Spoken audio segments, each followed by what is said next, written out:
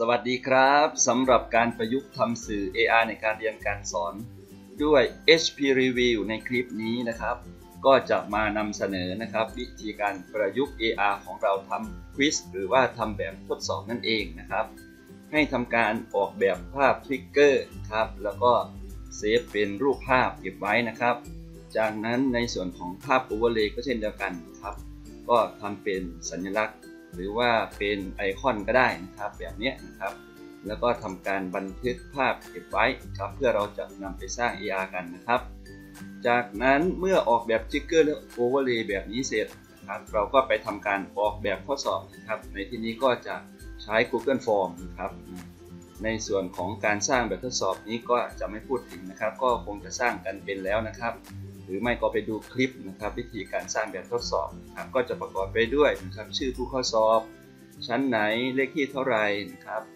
แล้วก็เริ่มสอบนะครับ เราก็จะมีคำถามมีช้อยให้เลือกนะครับ แล้วก็มีเฉลยนะครับว่าข้อไหนถูกนะครับถ้าถูกได้กี่คะแนนนะครับ เราก็ทำการจัดการเรื่องแบบทดสอบให้เรียบร้อยนะครับเมื่อทำข้อสอบเสร็จแล้วนะครับ เราก็มาที่นะครับตรงนี้นะครับทรง แล้วก็เลือกเป็นนะครับตัวลิงก์ตรงนี้นะครับรูปโซ่ แล้วก็อาจจะตัด URL ให้สั้นลงหรือไม่ตัดก็ได้นะครับ แล้วก็ทำการคัดลอกไว้นะครับ เมื่อได้คัดลอกที่อยู่ของแบบทดสอบแล้วนะครับ เราก็จะไปสร้าง AR กันนะครับ เปิด studio hpreview.com ขึ้นมา จากนั้นก็ create new aura ของเรานะครับ แล้วก็ทำการอัปโหลดภาพ trigger ครับของแบบทดสอบขึ้นมานะครับ เราก็เบราว์ไปเลยนะครับ แล้วก็ไปที่ trigger แบบทดสอบกด open จากนั้นก็กด save ได้เลย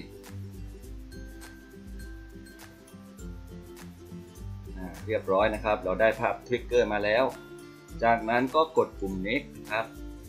แล้วก็ทำการคลิก upload overlay นะครับ ในที่นี้เราใช้เป็นภาพก็ไปเลือกเป็น image นะครับ แล้วก็ browse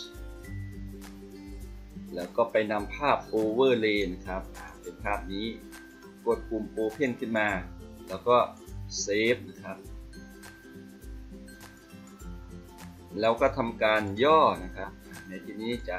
ให้เป็นภาพที่อยู่ตรงกลางจอนะประมาณนี้นะครับ ภาพเล็กอยู่กลางจอเพื่อให้แตะแล้วเข้าแบบทดสอบอีกทีหนึ่งครับ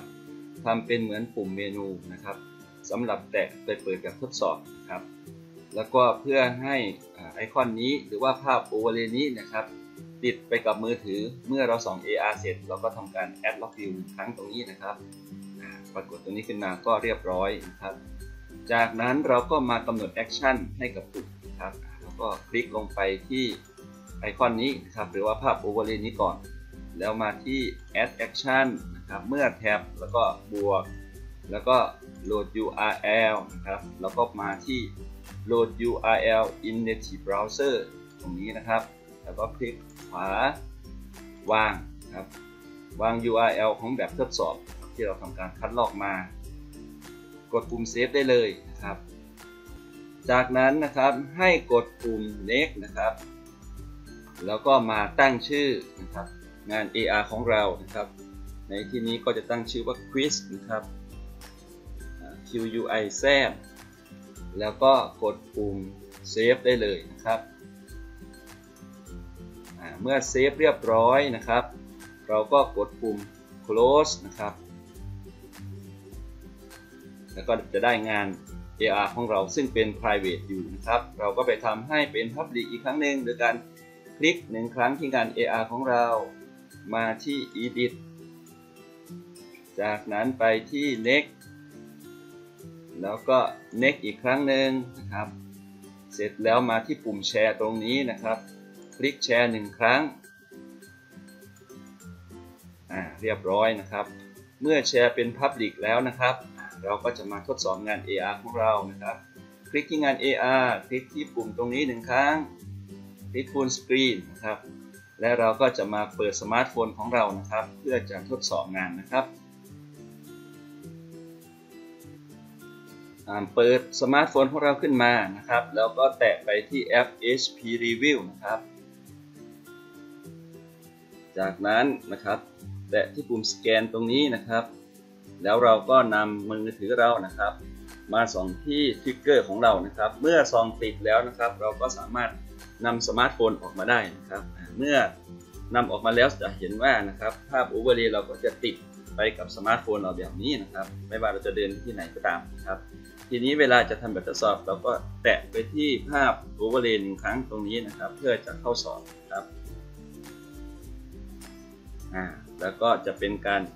เปิดฟอร์มหรือว่าเปิดแบบทดสอบนะครับของเราขึ้นมา แล้วก็สามารถที่จะคลิกตรงชื่ออะไรต่างๆ เข้าสอบได้นะครับ นี่คือนะครับวิธีการนะครับทำแบบทดสอบนะครับ หรือว่าการประยุกต์ AR นะครับในการทำแบบทดสอบนั่นเองนะครับ ง่ายๆนะครับ ไปลองฝึกทำหรือว่าไปพัฒนาสีของเรานะครับ ในยุค 4.0 นี้นะครับ ให้ทันสมัยนะครับ พบกันใหม่ในคลิปหน้าสำหรับคลิปนี้สวัสดีครับ